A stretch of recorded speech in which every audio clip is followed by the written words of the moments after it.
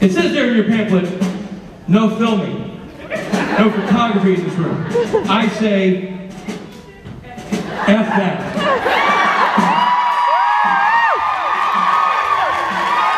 I didn't put on this asinine hat to not have my children see it in five years on the web.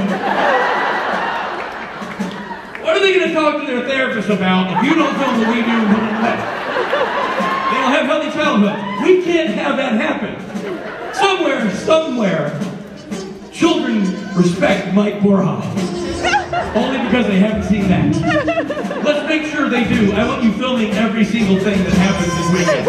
I want those phones out. I want them recording. And just remember, when they're recording, your voice is going to be the loudest thing you hear. So when you go back to show it to your mom, and she said, did you have a good time? And you said, yes, I did, mom. Let me show you.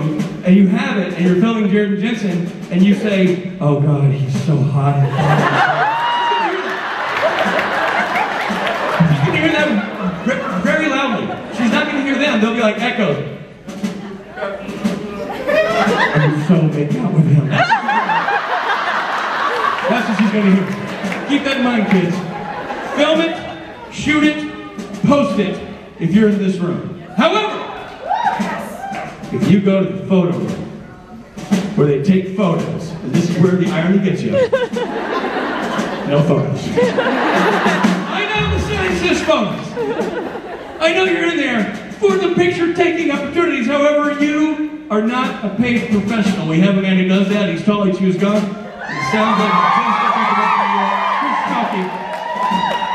He does the photos. He will take the pictures. You do what he says. You keep that phone in your pocket and you smile for the camera. He will make sure you look great. That's the one place you can't take photos. Now, the other thing I must tell you is you're here and you're ready for a great weekend. I'm going to warn you, don't do that. Don't rest on your laurels and enjoy this weekend when you could be worrying about how to pay for next year. you feel like you're here for a fun weekend, you're not.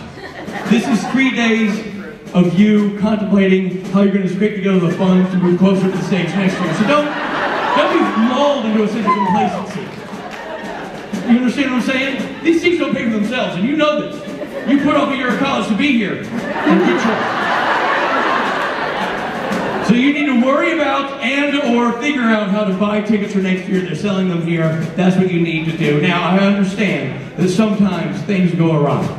Things don't always work out. I mean, to our Irish kazoo playing brethren.